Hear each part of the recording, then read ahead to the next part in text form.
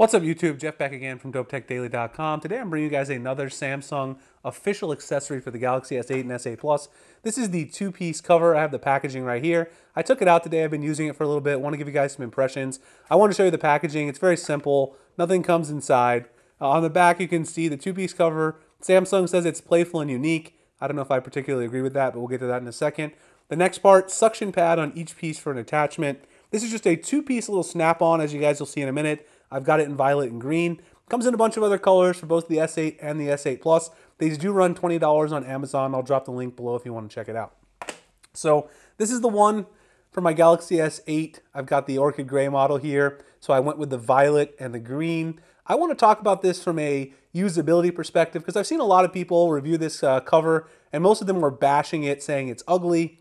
I happen to agree that it's ugly, but that's actually a personal preference, so you can make your own decision about how you feel about the aesthetic value.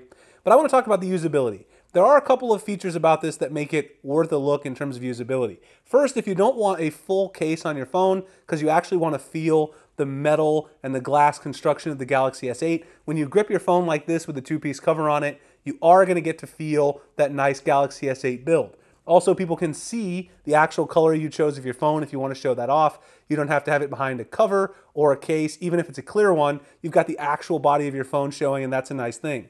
Another thing, because of the way that the two pieces are situated, when you sit this down on your desk, these two pieces make sure that the glass sits on the top of the two pieces, and that way it's not going to scratch the glass on the back of your phone. So when you have it sitting on your desk, you don't have to worry about scratches on the back, which is something a lot of people try to avoid by putting a skin or a case on their phone.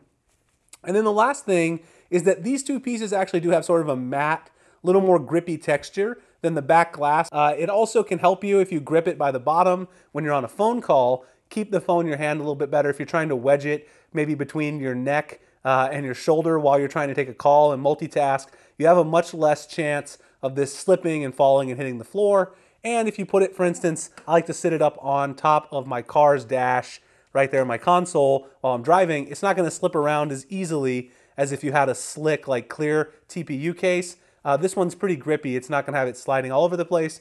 You do have differentiated cutouts for the fingerprint scanner and the camera. It's not raised up a whole bunch, but it does help with the problem of making sure you can recognize where the scanner is and you don't overshoot the scanner or put it in the camera there and smudge up your camera. So that's definitely a nice thing.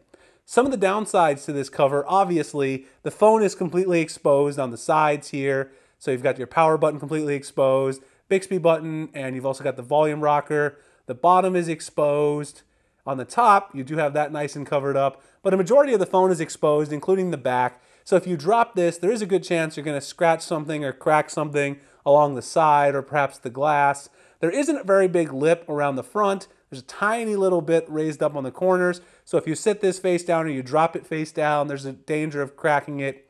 Um, overall, unless you drop it right on the back where these two pieces might save you, there is some danger of the phone getting broken if you have a drop with this. It's not a maximum drop protection case.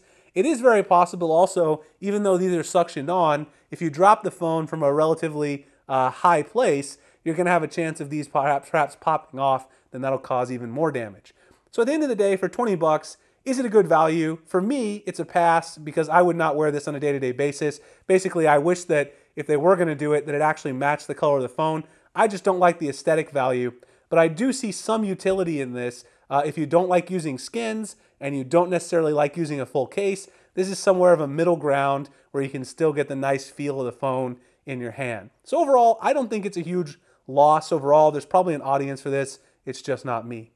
All right, guys, so that is my full review of the Galaxy S8 two-piece cover in violet and green. Please like and subscribe if you guys enjoy my content so I can make future videos like this. You can find me at dopetechdaily.com, Google+, Instagram, and Twitter at the links in the description. I appreciate you guys checking out this video, and I'll see you in the next one. Thanks a lot for watching.